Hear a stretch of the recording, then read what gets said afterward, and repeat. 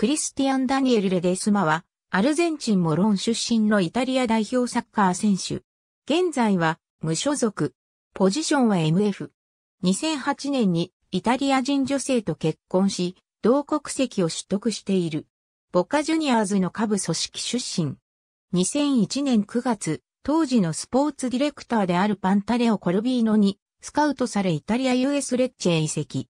以降5シーズンにわたり同クラブで合計126試合に出場、キャプテンも務めた。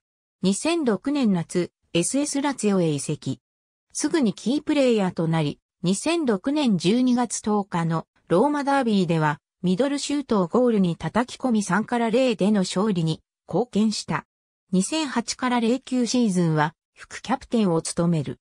2014から15シーズン限りで、クラブとの契約が満了し退団、在籍9シーズンで300試合以上に出場した。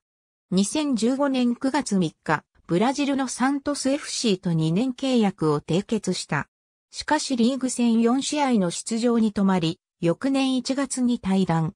半年のフリー期間を経て、7月14日にギリシャのパナシナイコス FC に2年契約で加入した。2017年1月17日、セリエ B のテルナーナカルチョとシーズン終了まで契約し、イタリアへ復帰。同年8月22日、延長オプション付きの1年契約で、スイスの AC、ルガーノへ移籍した。2018年9月5日に、セリエ C の AS プロピアチェンツァ1919へ加入し、再びイタリアに復帰した。翌年1月31日、クラブによる給与未払いを理由に契約を解除した。アルゼンチン出身であるが前日のようにイタリア国籍を取得したことでイタリア代表入りを期待する声が次第に高まっていった。